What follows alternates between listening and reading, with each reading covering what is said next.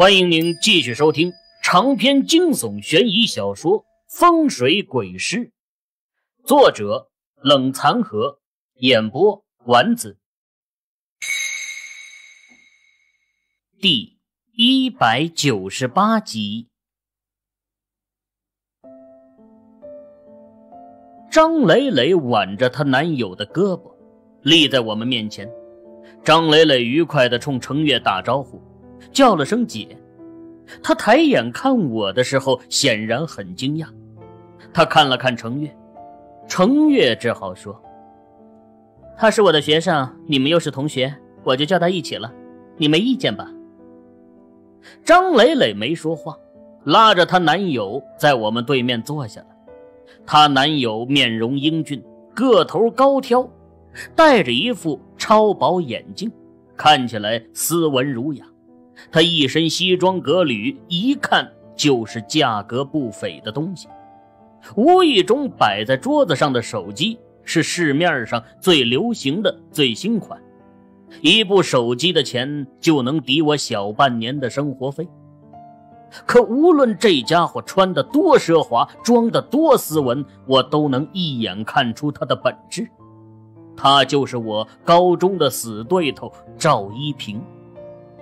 我万万没想到，我深爱着的张磊磊，竟然会跟赵一平这种货色为伍，还甩了我跟他在一起。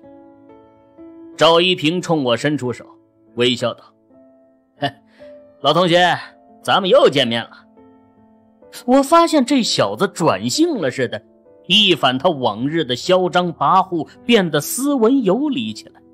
对我一贯的鄙视也没了，看起来像个有修养的绅士。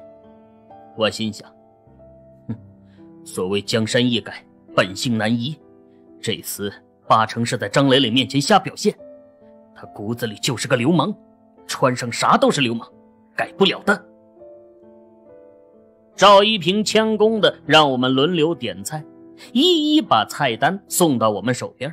又礼貌周到的为我们分发餐具，还一口一口的给张磊磊喂食，看得我火冒三丈，真恨不得把一盘蛋挞都扑到赵一平的头上去。吃饭期间呢，我一句话都不说，反倒是龙哥非常义气的拿话揶揄赵一平，先是讥笑他的发型。又鄙视他一个不到二十岁的小青年，穿着一身装逼衣服，真他妈丢人！再嘲笑他，明明一个爷们儿，长得这么娘，真不知道下面有没有伴儿。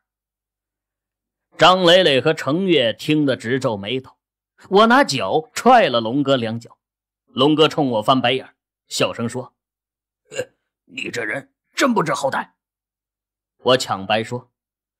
我是让你来给我镇场子的，不是来让你给我丢人的。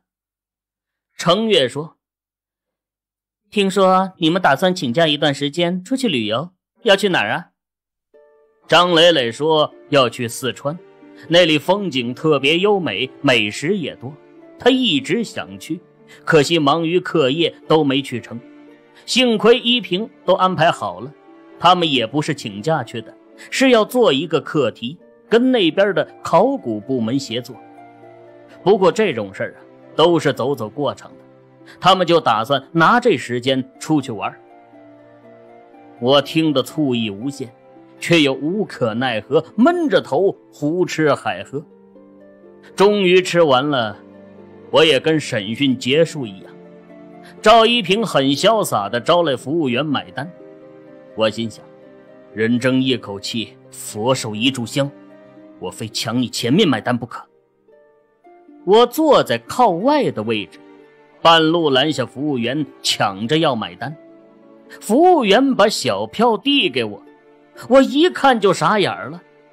就这一顿饭就消费了整整两千块钱。我翻出钱包一看，只剩现金三百，零钱若干。钱包里甚至有十块钱的硬币和五个五毛的硬币。我翻钱包的时候啊，掉了几个五毛硬币下来。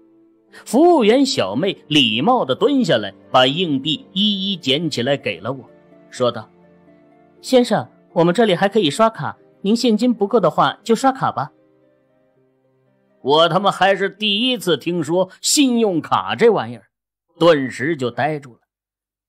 赵一平不失时机地说：“我来刷卡吧，说好的这顿我请。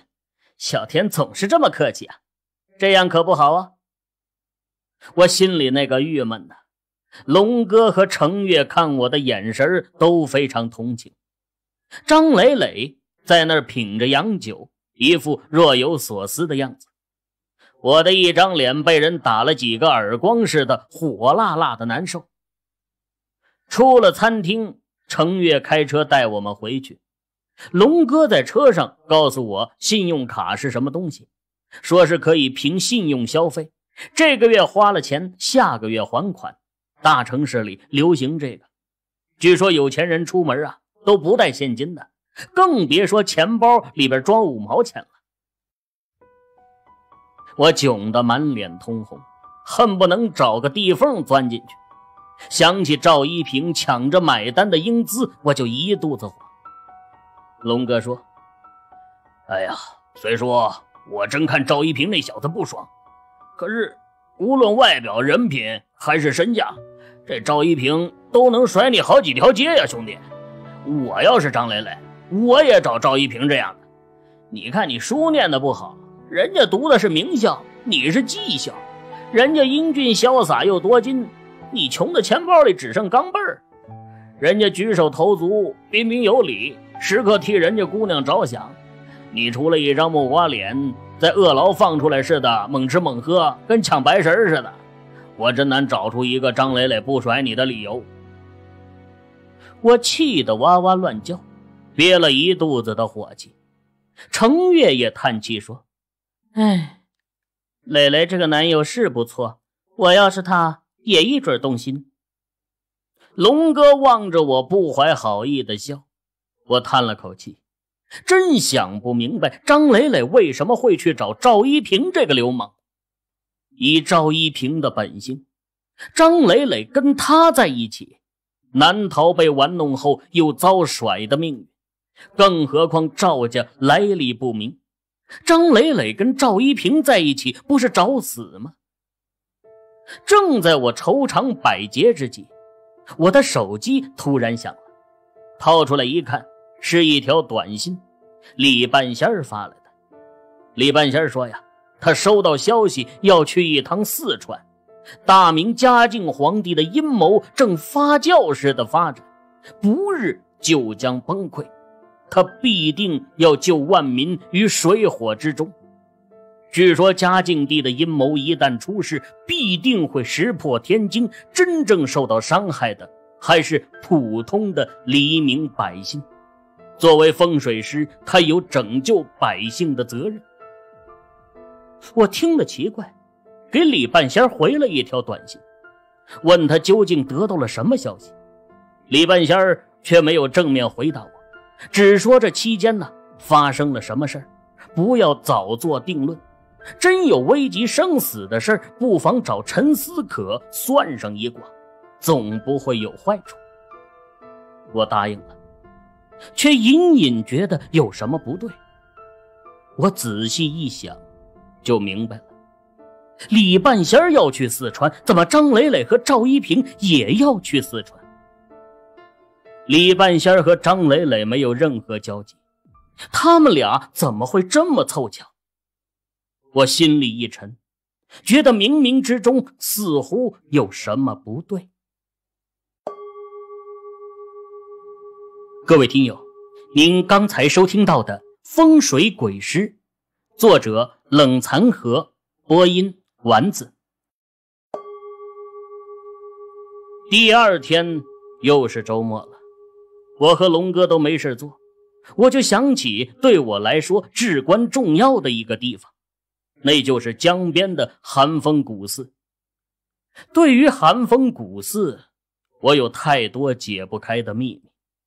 来省城读书的这段时间，我一直饱受各种事情折腾，心里虽挂念着寒风寺，却一直没空去，龙哥早听烦了我在寒风古寺里遇到的诸多奇事，听说我想去寒风寺，立刻就答应下来。我俩起了个大早，天一亮就爬起来，洗漱一番就出门坐公交车了。我们来到江滩边上，防洪林深处那堵奇高的围墙还在，不过呀，已经倒了一段。围墙上写了好几个大大的“拆”字，我们连翻都不用翻，直接就走进去，就看到树林掩映中红瓦高墙的寒风寺了。穿过树林，寒风古寺的破烂牌匾半悬在门头上，大门上结了一层密集的蜘蛛网。想不到一年时间没来，这寒风古寺又残破了不少。古旧的窗棂都掉下了许多，门口走廊上的古钟依旧挂在那里，模样四平八稳，十分沉重。我找了根棍子，拨开破烂的蜘蛛网，再推开大门，只听吱呀一声，寺庙里的东西就呈现在我们面前。令人惊异的是啊，我们上次来古庙里还破旧不堪。可现在看上去，这庙里各项物件都摆设的出奇的整齐，连破损的菩萨都被修好了。地上灰尘虽然多，可地面却非常完整，地上也没有多余的东西，看上去整间庙像刚装修过一样。我就觉得奇怪了，为什么寒风寺外面看着这么破旧？可里面却修理的这么好，难道古庙里还有别人来过？我把寒风古寺里里外外都看了一遍，这寺庙的确是让人重修过。更怪异的是，古庙里面修缮一新，外面却无比破旧，让人十分摸不着头脑。龙哥说。我琢磨着，这修庙的人脑袋坏了吧？哪有这么做事的？外面拼着破，里面拼着新，脑门让驴踢了。我再看古寺外的空地上，有车轮的痕迹，心里不禁起疑：这寒风寺多年没人来过了，一直破败不堪，为什么会遭人修过？我和龙哥苦寻无果，就出了寒风寺。密林外的大马路上，有一间简陋的便利店，店主是个老婆婆。我灵机一动，就借买水的机会向老婆婆打听，这林子里什么时候车辆进出的比较多。老婆婆瞪了我一眼，说道：“小孩子，别胡乱打听，这林子里的事儿玄乎着呢。我们这一带的老住户。”都不乱议论的，架不住我再三的问，老婆婆还是向我透露了一点，说：车进车出的时候啊，还不就是修寒风寺的时候吗？修好了也就没车往来了。我一听对路了，就顺藤摸瓜的问：到底是谁在修这寒风古寺来着？老婆婆先是不爱说，龙哥又掏钱在她那儿买了一堆东西。老婆婆架不住金钱的诱惑，全跟我们说了。原来这事儿啊，还是半年前，有开发商要把这片林子都毁了，建个什么水上乐园，上面都批下来了，就找拆迁公司来拆。后面的私房拆了不少。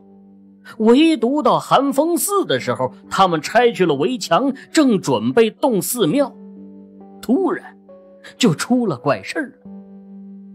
当时拆迁的人把那片林子都围了起来，好多工人都在林子里作业。听说挖断了寒风古寺那段围墙后，挖掘机第二天打算挖掉寒风寺前的那片树林，当天晚上就出了事儿。说是半夜挖掘机作业的时候，在林子附近挖出一具棺材出来，他们搞施工的挖出这种东西也属常见。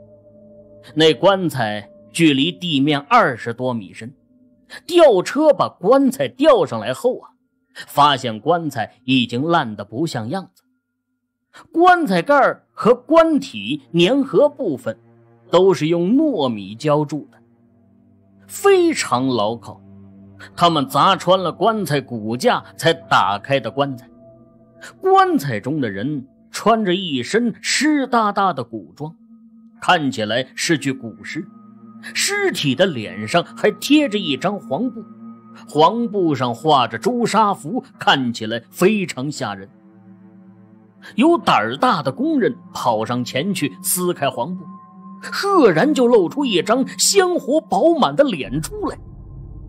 围观的人看得清楚，纷纷大叫起来，众人都吓疯了。因为那棺材里的尸体，竟然就是他们两天前失踪的施工队长。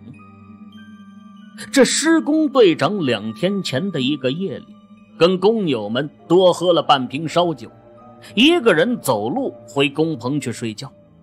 这一走就没了人影，工友们还以为他大半夜回家去了。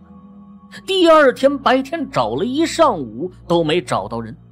给家里去电话，也是没人，大家都急坏了。后来实在找不到了，又去报了警，警察也参与寻找当中，却硬是没找到半点影子。公司和队长家人思来想去，这队长啊，恶习比较多，吃喝嫖赌样样都沾。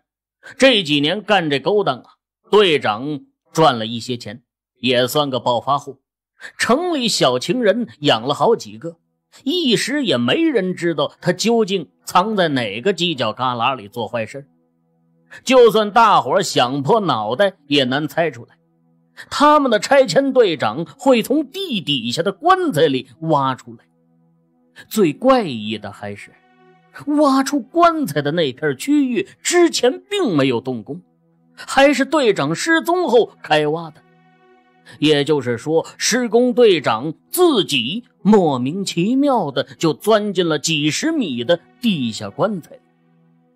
这件事把整个施工队都震动了。他们报警后，警察对尸体做了解剖，说是尸体死于窒息，死亡时间就在他醉酒出门后半个小时。棺材里还有施工队长挣扎抓出的痕迹。法医做过进一步鉴定后证明，棺材上的指印的确就是队长留下来的。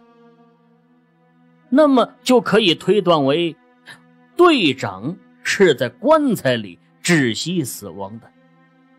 可是棺材下的古墓里既无盗洞，那时候施工又没挖到那里，这施工队长又是怎么进入棺材里的？